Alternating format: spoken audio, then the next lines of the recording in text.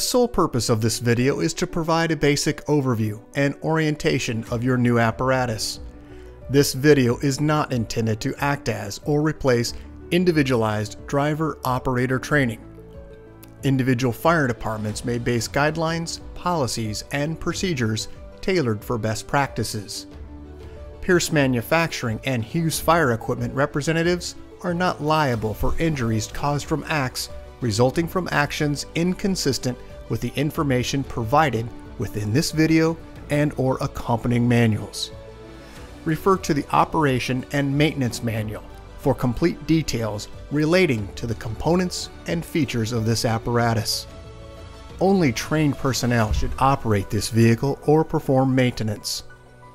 You are responsible for learning how to operate this fire apparatus under all conditions without having to refer to the manual while operating at an emergency incident. This video will discuss types of warnings and caution labels. It is your responsibility to locate and identify each of the labels and understand the importance and associated hazards. Warning labels will point out procedure that must be taken or action that must be avoided to guard against the possibility of serious injury or death. Caution labels will advise you that there is a risk of damage to property if certain precautions are not followed. Continuous training, reviewing of operation and service manuals, developing good standardized practices will assist driver operators with a more complete understanding of the components and operation of this fire apparatus.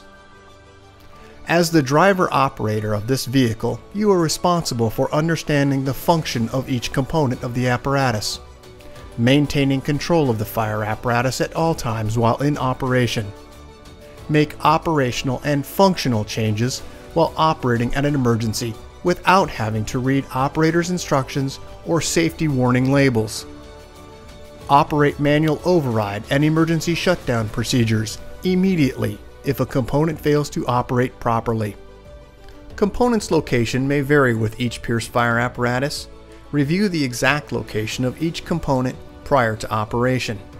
Major inconsistencies between your vehicle and the information contained in this video should be directed to your sales representative. Safe operation of any vehicle is the responsibility of the driver operator. You must learn the location and function of all controls, switches, gauges, valves, inlets, and discharges. Due to a higher center of gravity, heavy trucks have a significantly higher rollover tendency than other types of vehicles. To reduce the risk of rollover, avoid making sharp turns, excessive speed, and avoid abrupt maneuvers. In the event of a rollover crash, an unbelted person is significantly more likely to become injured or die than a person wearing a seatbelt. In the event of a crash, unbuckled occupants can also become a hazard to other occupants as they may be thrown around inside the cab. Seatbelts are required while in operation. Please refer to your warranty certificates for details and information enclosed in your manuals. Customer installed equipment must be mounted to withstand road travel and comply with NFPA 1901. Modifications such as drilling holes or welding to structural frame components of the chassis are not permitted. Contact Pierce for instruction and review of non-structural sheet metal or other dissimilar metals for modification. Follow the radio installation guide for further assistance on installing or mounting electronics. Before placing your new apparatus into service, perform a primary inspection of key components of the apparatus, including all fluid levels, anti-lock braking systems, electronic stability control, and automatic traction control. Weigh your apparatus to ensure that it conforms to axle and brake ratings. Never exceed the gross axle rating printed on the label inside the cab. Exceeding these ratings could lead to reduced component life, personal injury, or death. Review the use of auxiliary braking systems, compression brake, exhaust brake, electronic retarder, and hydraulic retarder. Before placing the apparatus in service, refer to the operational maintenance manuals. Information on the operation and maintenance functions for the components such as the pump, pressure governor, and foam systems along with other options is provided in either the Pierce manuals and or other manufacturer support information delivered with the apparatus. If you need more information, please contact Hughes Fire Equipment. Congratulations, State of Oregon, on your new apparatus, job number 29728. Please utilize this job number when referencing your apparatus with Hughes Fire Equipment. Let's get started on a brief orientation of your new apparatus. Let's start at the front bumper area. Down in the lower section on the passenger side, you'll find an air horn. On the driver's side, you'll find a electronic siren. Moving up onto the body, on the left and right side, you'll find marker turn indicators. Moving just inside from that location, you'll find your light cluster.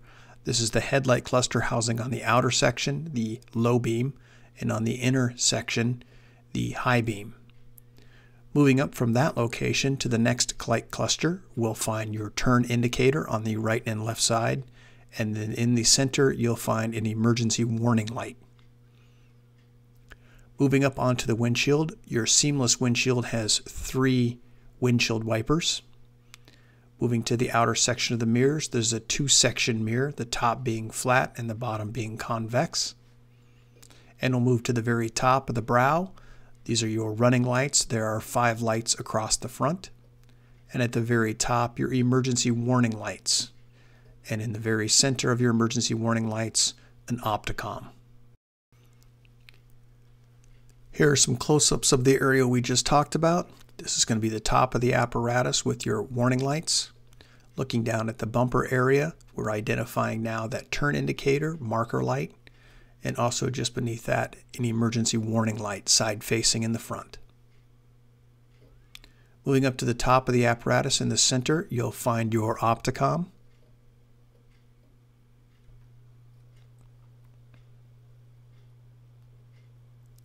Here is a generalized view of the side of the apparatus, specifically the mirrors as we're looking at.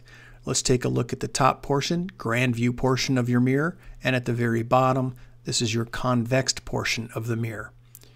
Here is the uh, close-up of the headlight cluster, in addition with the turn and warning light cluster.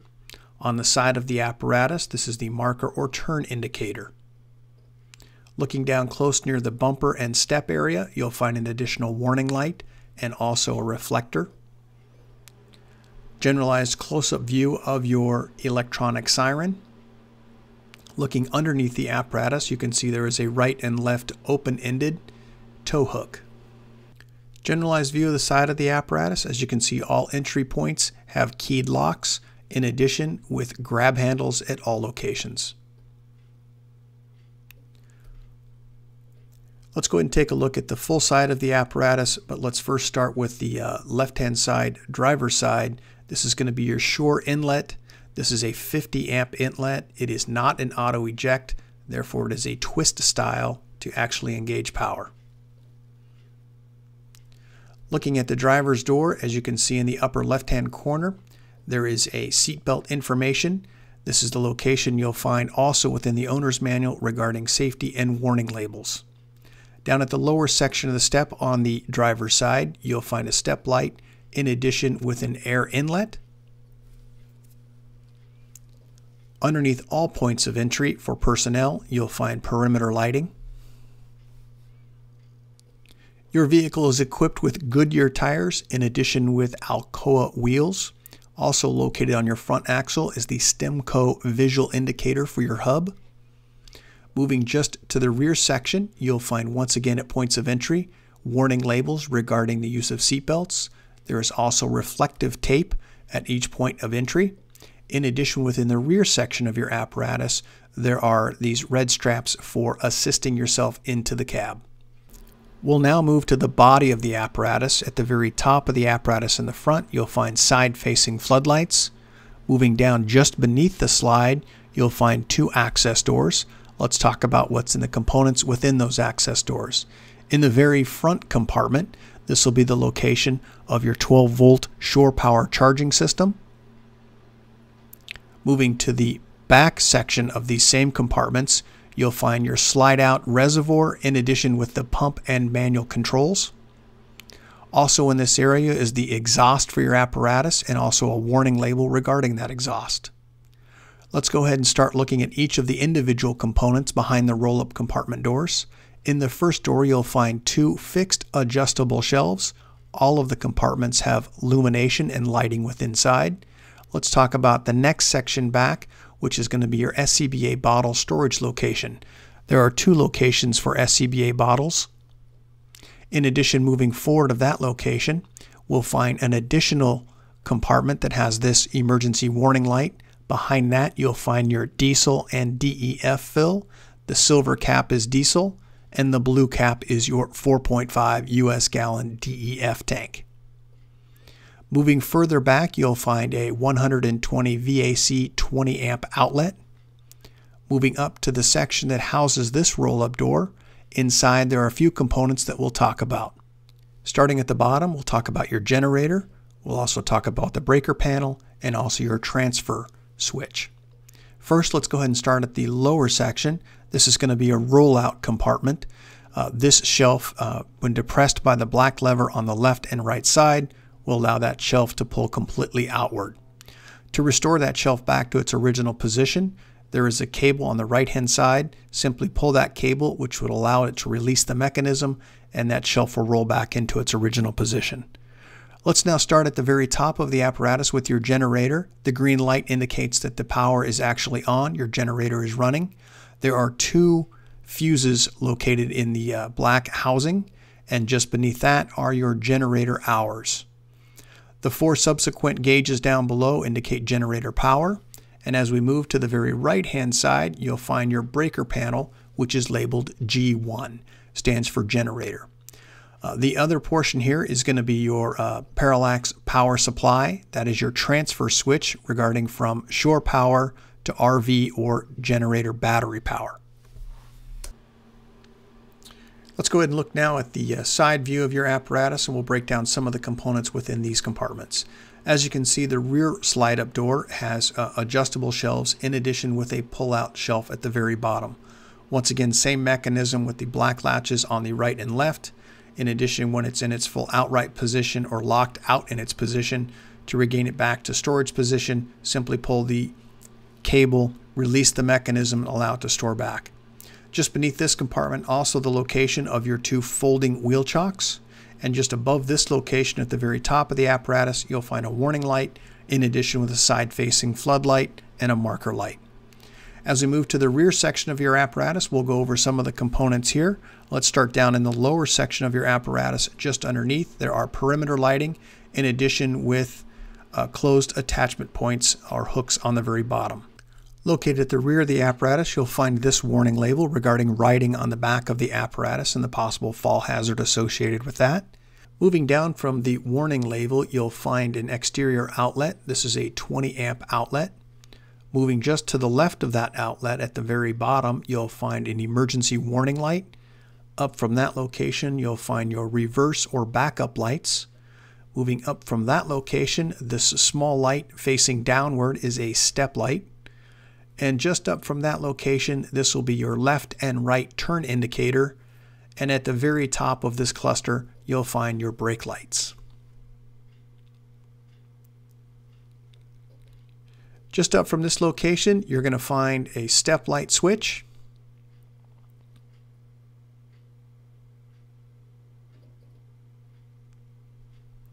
We'll talk a little bit about how to operate the ladder in the next set of images, but let's go ahead and start on the passenger side of the vehicle. We'll start in the upper left-hand corner in the rear. In the upper left-hand corner, you'll find an emergency warning light, in addition with a side-facing floodlight. Also located on the side of the apparatus is your entry point door for gaining access inside. This is also a window that does open, it slides. Let's go ahead and talk about the components behind this roll-up compartment in the very rear of the apparatus.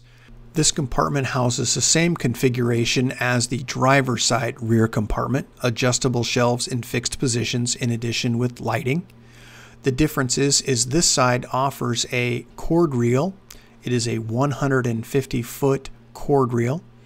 It does have a reel reset, which is a breaker for that cord reel.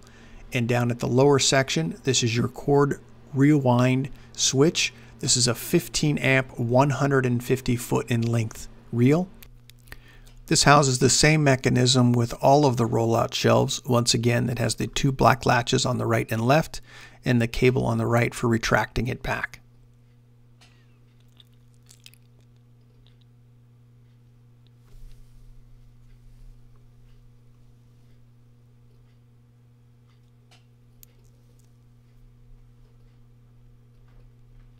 Let's go ahead and move just forward of this location. Just near the rear wheel, you'll find at the very bottom section an additional outlet. This is a 20 amp outlet in this location. Just up from this location, you'll find an access door and also a warning light on that access door. Location behind this is going to be your bottle storage location. There are the potential for two bottles in this area. As we move forward of this location, you'll find an additional access door with a similar, a similar configuration or layout with bottle storage in this location. Just beneath that access door, you'll find the side marker light, which is identical on the opposite side. This is a turn marker light. And let's move forward into the next compartment. Just above the rear wheel, you'll find behind this locking roll-up door, a through compartment also with a adjustable or pull-out shelf. In the upper right hand corner, you'll find a 15 amp outlet. There are four plugs in this location. And as you see, the same shelf configuration with the black knobs on each side for latches to open and the cord to return it back to its original position. Let's go ahead and move forward of that. This is going to be a compartment that houses uh, a variety of different items, a drawer on the very bottom, in addition with at the very top bottle storage locations. Uh, just poking out from the left side of the drawer you'll find a latch which allows the mechanism to open the drawer and then up from that you can also find additional storage. This is the main entry point into the cabin or main section of your apparatus. When the door is activated, the steps will automatically deploy in the downward position. There is also step lighting uh, for each one of the steps. As we move inside the cab, we'll take a general view around of the entire cab, but first let's take a look just by the grab handle. You'll find once again that safety warning information. Moving just forward of the main cabin door, you'll find this roll-up door, which houses a fixed shelf, which is adjustable. There are also two rollout compartments uh, in this lower section. There are also some contents here we'll talk about in the next set of images. First, let's take a look at the yellow latch on the left-hand side of the drawer. This will allow you to release the mechanism, allowing that drawer to move to the open position. Located just above these two shelves, uh, beneath the adjustable shelf, you'll find the controls for your night scan in addition with your cab lift. First, let's talk about the night scan. It's this yellow control box here. It is mounted on the side, but also can be pulled out with a cord uh, so you can easily access uh, visibility for that night scan. This is also location of your cab lift. Just above that, you'll find a 15 amp outlet and also the control module for your wireless awning. Let's go ahead and move to the very front cab section of your apparatus. As we look in the passenger's uh, door and also in the rear door, you'll find this once again a warning label regarding the use of seat belts. Let's take a look at the side of the apparatus. This is the location of your only awning. Uh, located in the front section of the awning is where you'll find your manual roll-up section here. As we move to the very rear of your apparatus, you'll find this safety device or fall protection at the rear of the apparatus. Once we're up inside, at the very top, you'll find the night scan in addition with your air conditioning unit. Let's go ahead and just take a look around here. You've got compartment storage on the very top, and on the very far right-hand side, you can see the vented compartment. In this vented compartment with the latches down at the bottom, this is the location of your onboard generator. Located on the side near the bottom of the generator, you'll find your on-off for fuel. Also located near the bottom, you'll find the oil drain. You'll also find a protected exhaust stack for the generator. And as a general view of the apparatus, you'll find compartment storage all of the compartments in this area at the very top of the apparatus have uh, lights with inside and they are also all weather sealed.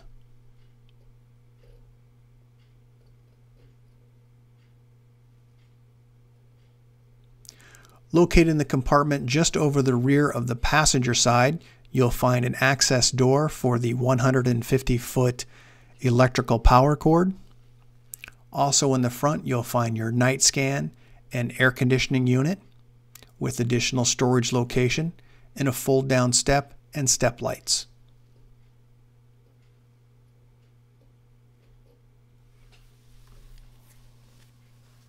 Go ahead and move to the rear of the apparatus and let's talk a little bit about the ladder for gaining access up to this area. First, the ladder is currently in its position, which is in the open position. Uh, to restore it back to its stowed position, lift the center rod, allowing the hinge to lift up and the ladder to retract to its original position. Once it's restored, go ahead and restore the latch. As you can see on the right hand side here, there is some protective uh, plastic here on that now. Let's go ahead and take a look just inside the cab. Orientation will be somewhat difficult, but uh, as we move through the cab, we'll try and orientate you so that you understand where things are located. This is looking back at the door as you're looking outward. You can see on the uh, left-hand side there are two fold-down steps. There is also a pocket here with a dry erase board marker, and there is also dry erase boards throughout the apparatus. You're now looking at the control or module center. Um, you can see this area has a whiteboard on the right hand side next to the adjustable seat. And this is the portion of the apparatus that is in its full extended or uh, outward position. Just above the operator door moving into the cab, you'll find a list of controls. Let's start on the far left hand side and we'll talk about some of those components here. First, starting on the left, you'll find your awning remote and you'll also find next to that your awning control you'll see the lights that illuminate indicating out or in. Moving just to the right of that, there are a set of rocker switches. Those switches control the cabinet lights, the rear scene lights, the driver's side flood, and passenger side flood. There is also a location here for an indicator regarding your generator start and stop, which is in red.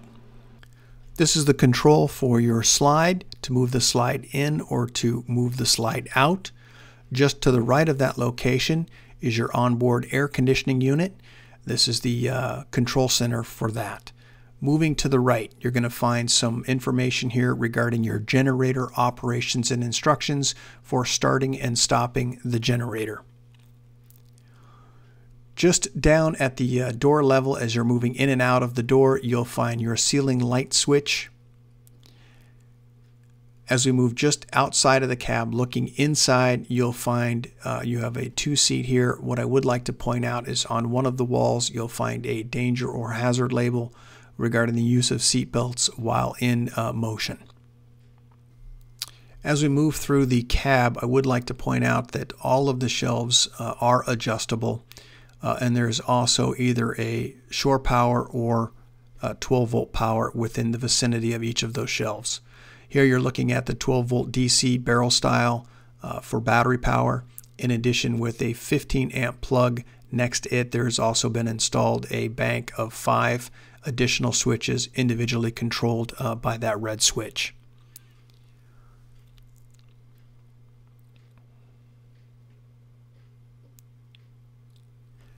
As we look uh, further through the compartments, uh, you'll also find there are a variety of different uh, dry erase boards which have the ability uh, in most of the compartments to write on. Uh, this compartment here is uh, got shelves on the inside and also the ability to utilize that dry erase board. As we look forward of the cab, you can see there's an adjustable shelf. to the left-hand side here, you'll find this bench seat but you'll also find your emergency exit through this window. There are two latches on each side to gain egress out of this area.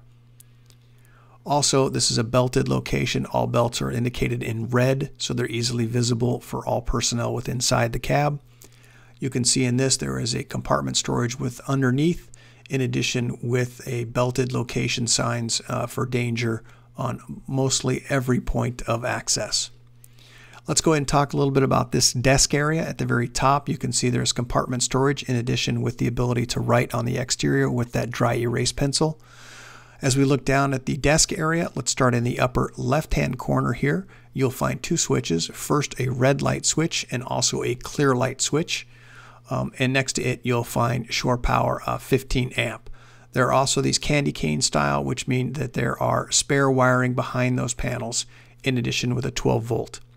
There is also an HDMI input in this location. Just to the opposite side, you'll find two fold down seats. And as we move forward looking from the back to the front of the apparatus, you'll find these two command seats here. Overhead, you'll find heating and air conditioning controls in addition with storage cabinets on the right and left hand side. And on the uh, side of the door, you'll find fold down seats on the left and right side. Overhead, you'll find push on, push off red and white lights. And as we look into those compartments at the desk level, you'll find a pull out set of drawers here.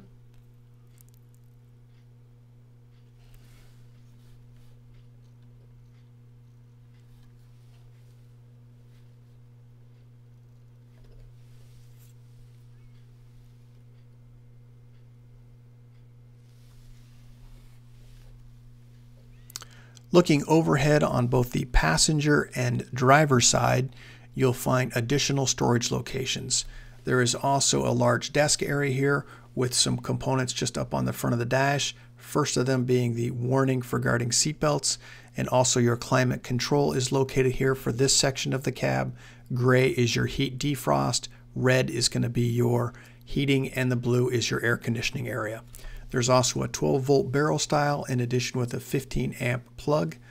The two storage compartments directly above have safety latches for those to maintain the contents within inside, and they also have on both the passenger and driver side uh, these cabinet light switches to illuminate the lights within inside. Located at the base or floor area, you'll find an access door. Uh, this is located in the center of the apparatus. This access door, once open, you'll find the ability to do your daily checks for oil and transmission checks. There is also a light with inside this compartment. Let's go ahead and take a look at the outside looking into this section of the compartment. You can see the two command seats here. Also, you can see the uh, desk in addition with overhead storage. Let's go ahead and move now to the operator's seat. As we look at the operator seat down at the floorboard area, you'll find your accelerator and your brake. Located just left of the brake, you'll find this foot pedal, which is your air horn. And also just to the right hand side, you'll find two additional caution and warning labels. One is for the uh, diesel engine exhaust, and the next is for equipment damage and to make sure that you utilize your service manuals. On the right hand side, the yellow placard the vehicle has been manufactured for the state police uh, for the state of Oregon. It's indicating the date of manufacture, the job number associated with this vehicle, in addition with gross vehicle weight rating. And lower down beneath that, you're going to find the VIN number, which is also on the A pillar driver's side, and also associated fluids, types, and the amounts for your apparatus. Starting at about knee height on the operator side, first you're going to find at the very top in silver, this is your quarter on off switch for the master battery. Moving to the right of that, you'll find your engine transmission diagnostic port in the green cap. Moving down from that, this is going to be your slide out master, ABS diagnostics, DPF regen, engine diagnostics, and regen inhibit. Up onto the steering column, you'll find your right and left turn indicator. You'll also find your hazard lights and also the push and pull for telescoping uh, your steering column and also tilt. Let's go ahead and move to the left hand side of your uh, dash. You'll find your ignition and also start switch. Let's go ahead and move just up from this location on this yellow placard. You'll find your height 11 feet 10.5, length 36.8 and your gross vehicle at 21 tons. Also in the yellow just beneath that, you'll find the job number. Let's now move to the right hand side of the steering column. You'll find your driver side and passenger side mirror controls. And as we look uh, just directly in the center, you'll find all of your gauges regarding uh, your vehicle for tachometer, speedometer, in addition with oil pressure, transmission, DEF, fuel level, water, front and rear air, and your voltage. Let's move down about right, uh, correction, left side. Let's talk about the small button here labeled EM. That stands for Emergency Master. That controls all of your emergency master lights. Moving to the right of that, you'll find your on-off for your headlights, and to the right, the panel dim switch. On the right-hand side of the steering column, you'll find this OK to engage the high idle, and also just to the left of that, the high idle switch to engage high idle. Let's take a look here, a general view of the center console. We'll talk about the components here. Let's start at the very top. Uh, first component we'll talk about, this is going to be your siren control and also PA control at the very top. Moving down from the siren and PA control, you'll find a set of switches. Let's go over those switches. First, let's start with the rear scene and the driver side flood, passenger side flood. You'll see there's a blank and also the generator start and stop in red. And on both sides of that, you'll find blanks. Those are for future switches if you choose to. Also on the right hand side, this is going to be your windshield wiper control. Uh, for uh, the windshield wiper fluid, uh, merely push in, which will allow the uh, motor to kick on and apply fluid to the front windshield.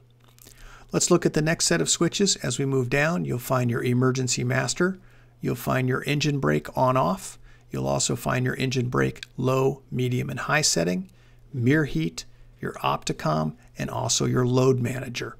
Moving down from this location, you'll find your Allison transmission pad, and to the left of that, in the yellow, this is going to be your parking system brakes, pull to apply, and push to release your main brakes.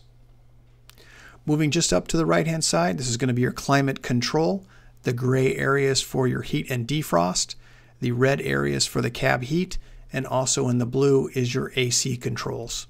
Also note there is a caution label regarding disengaging the retarder when vehicle is on wet or slippery surfaces. Between the passenger and the driver's seat on the rear wall, you'll find a shore outlet uh, power location. There are five switched locations here. The red switch controls all five of those. This is when you're plugged into shore power. Let's go ahead and look from the passenger side. As we look inside the cab, I would like to point out once again the warning label here just above the door latch for the use of seat belts and also the reflective tape just below that. Looking overhead uh, inside the cab, you'll find on the passenger and on the driver's side a variety of different future locations for components to be installed, in addition with push on and off red and white lights. Let's look down at the seat area here. Just in front of that, there is an access door for components behind that for service, in addition with the fill location for your windshield wiper. Moving up onto the dash, you'll find two 12 volt outlets. The very top is a USB style, and the one below is the barrel style or cigarette lighter style. Just overhead in the very center of the cab, you'll find this red puck style uh, light. Uh, if this is illuminated, it's indicating that you have uh, a compartment door ajar or a compartment door open and not to move the apparatus until verified. Once again, looking overhead, you'll see those components here. Directly in the center, difficult to see here, is your seatbelt information center. Red being someone is occupying the seat but not belted. Green, someone's in the seat but belted. And that's in between uh, the very center near the uh, red puck style uh, door open. Here's an image of the side of the apparatus. You can see with the uh, slide in its fully extended position. This is from the front section of the cab. Let's go ahead and take a look from the back section or rear of the cab with it once again fully extended. Here's an image of the passenger side with the canopy fully extended. Congratulations, State of Oregon, on your new hazardous materials response team vehicles. Job number 29728. If you have any questions as to the content of this video, please contact your Hughes Fire sales representative. Thank you and congratulations.